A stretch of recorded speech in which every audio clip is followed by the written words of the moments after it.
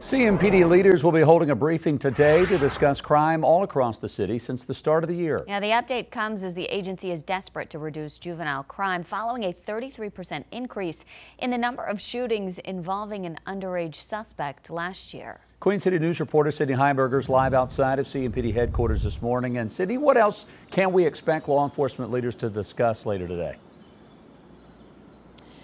Well, Jason and Wyatt, of course, everyone's main concern is violent crime. And so far this year, we've seen about 40 homicides. That's compared to about 24 homicides in 2023 in this same time frame. And another major hot topic, another major uh, crime that we have been seeing last year was vehicle break-ins and thefts. Property crimes last year rose 17% in the city, which the department attributed largely to a rise in those car break-ins and thefts. Now, an average of 22 cars were stolen each day in Charlotte last year. That's an 120% increase from the year before. And out of 1,200 auto theft arrests made last year, juveniles accounted for more than two thirds of them. Take a listen to Chief Johnny Jennings discussing the issue at the department's 2023 crime review that happened in January.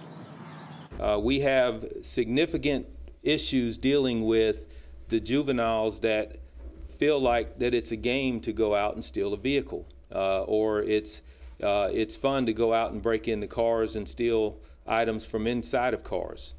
And that the increase that we've seen as a result of that has been detrimental to our efforts in managing crime.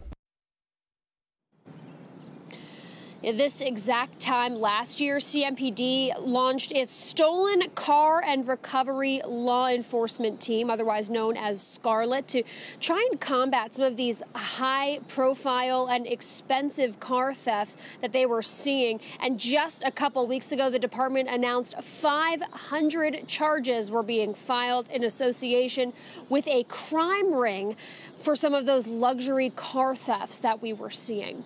Reporting live at CMPD headquarters, Sydney Heiberger, Queen City News.